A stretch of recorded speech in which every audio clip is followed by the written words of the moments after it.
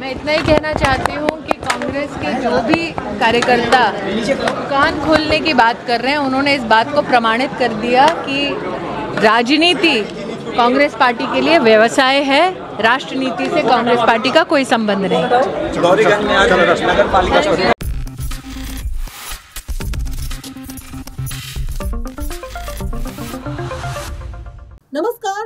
Nine news देख रहे हैं आप और मैं हूँ आपके साथ प्रज्ञा सिंह। कांग्रेस नेता राहुल गांधी इस वक्त अमेरिका के दौरे पर है। लगातार राहुल गांधी जिस तरह से अमेरिका के दौरे के दौरान कई मुद्दों पर खुलकर अपनी राय रखते हुए नज़र आ रहे हैं, जहाँ हर कोई राहुल गांधी की तारीफ़ करता हुआ नज़र आ रहा है तो ऐसे में राहुल गांधी के बयानों को लेकर देश में काफ़ी ज़्यादा बवाल मच रहा है। भारतीय जनता पार्टी के नेता लगातार राहुल गांधी के बयानों को लेकर प्रतिक्रिया देते हुए नज़र आ रहे हैं। या यूँ कहे कि प्रतिक्रिया के नाम पर राहुल गांधी को लेकर विवादित बयान देते हुए नज़र आ रहे हैं। उन्हें लेकर अब शब्द कहते हुए नज़र आ रहे हैं। क्योंकि राहुल गांधी के लिए भी इसी तरह के शब्दों का इस्तेमाल किया गया था, जब उन्होंने गुजरात में एक ऐसा बयान दिया था, जिसके चलते के खिलाफ मोदी सर ने मामला दर्ज किया गया। मानहानि का मुकदमा उन पर चलाया गया और इसी मुकदमे के चलते राहुल गांधी को गुजरात के सूरत डिस्ट्रिक्ट कोर्ट ने दो साल की सजा भी सुना दी। लेकिन जब उन्हें राहुल गांधी को दिवालिया कमज़ोर मानसिक स्थिति का आगरा में भर्ती हो जाना चाहिए, क्योंकि वो पागल हैं। इस तरह के बयान जब दिए जाते हैं, तब इन नेताओं को ये याद नहीं आता कि उन्हें भी अपने शब्दों का चयन, अपने शब्दों की मर्यादा को नहीं लांघना चाहिए। उनके खिलाफ भी मानहानि का मुकदमा हो सकता है। या फिर वो ये बेहतर तरीके से जानते हैं कि वो सत्ता का हिस्सा है, वो सत्तारूढ़ पार्टी का हिस्सा है, इसलिए उन्हें कुछ भी कहने की आज़ादी है। ऐसे में सवाल लगातार ये उठ रहा है कि आखिरकार राहुल गांधी ने ऐसा क्या कह दिया जिसके चलते भारतीय जनता पार्टी के मंत्री इतने ज़्यादा बौखलाते हुए नज़र आ रहे वो आप लगातार तब से सुन ही रहे होंगे। हम भी कई बार आपको सुनवा चुके हैं। लेकिन इन मंत्रियों के बयानों को लेकर अब किस तरह से कांग्रेस पार्टी अपनी जवाब देती हुई नज़र आ रही है, आप भी जरा सुनिए। राहुल गांधी जी, यही तो बात करते हैं। विदेश में जाके उन्होंने कहा कि भारत में दो सोचों की लड़ाई चल रही है। हमारी महात्मा गांधी की सोच है और इन लोगों की गोडसे की सोच है और इसी के बीच में झगड़ा है। तो राहुल गांधी जी ने जो बात कही, उसको तो आपने सत्यापित कर दिया इतनी ही जल्दी?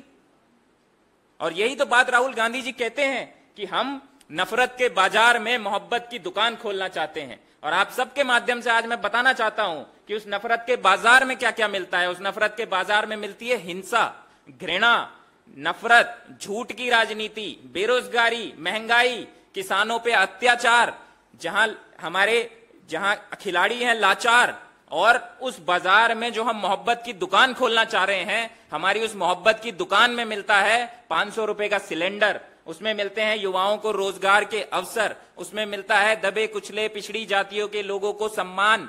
उसमें मिलती है सद्भावना, प्रेम, करुणा।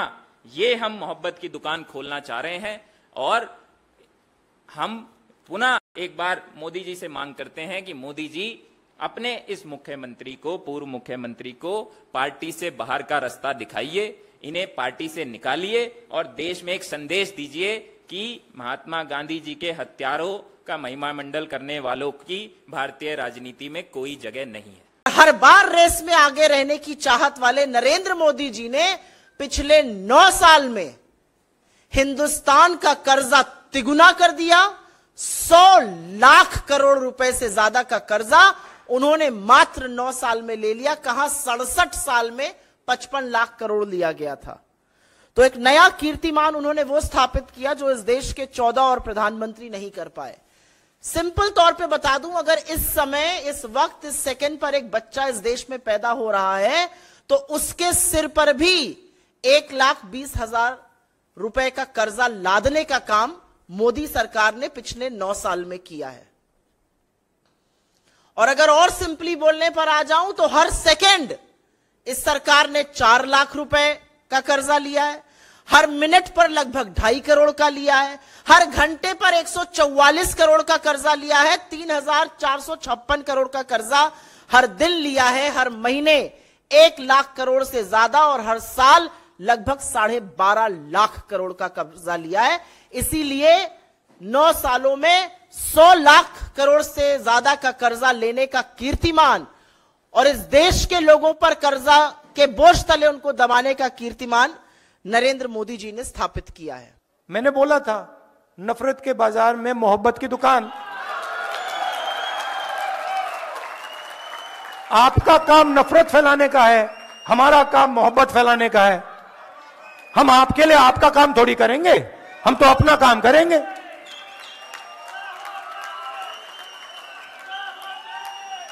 Right so so that is what we have to work on there is a challenge in India there is an attack on the democratic structure of a country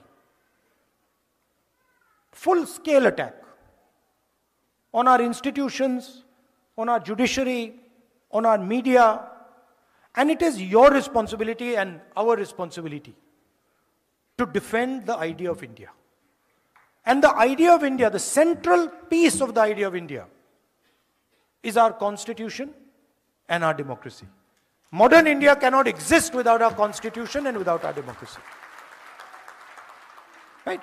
So, what excites me in this type of a meeting, that I come here and I see people, thousands and thousands of people, who believe in the idea of India who believe in the democratic principles of our country, who believe in the constitution, who believe that we should be affectionate to each other, that we should love each other.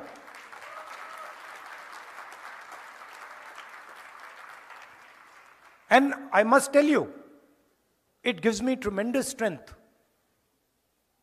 Tremendous strength when I see you. And I see the way you behave. And I see the way you act. Because in each of your hearts, there is India. आप ले घूमते हो। आप 24 घंटे अपने दिल में हिंदुस्तान को लिए घूमते हो। राइट एंड वो कौन सा हिंदुस्तान लिए घूमते हो? वो मोहब्बत वाला हिंदुस्तान। एक दूसरे की इज़्ज़त करने वाला एक दूसरे की मदद करने वाला गले लगे वा, लगने वाला हिंदुस्तान आप लिए घूमते हो 24 घंटा मैंने देखा है इसी ट्रिप पे मैंने देखा you see a person from another culture you'll help them immediately. You'll not ask, Acha, what religion are you? What community are you from? What are you wearing? No. You'll say, if you need my help, I don't care which religion you're from. I'm Indian and I'm going to help you.